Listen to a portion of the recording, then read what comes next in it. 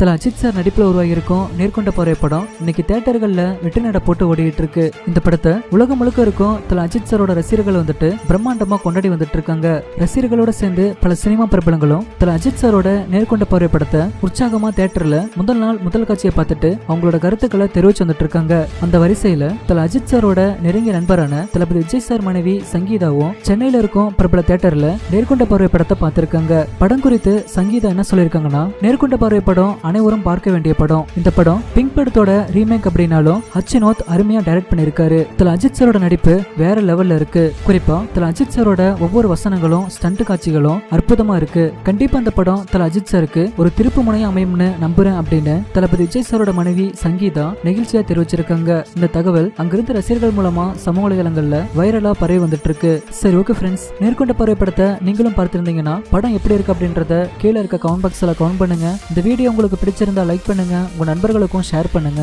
மேலும் இது போன்ற வீடியோக்களுக்கு பூத கன்னடி சேனலை சப்ஸ்கிரைப் பண்ணுங்க.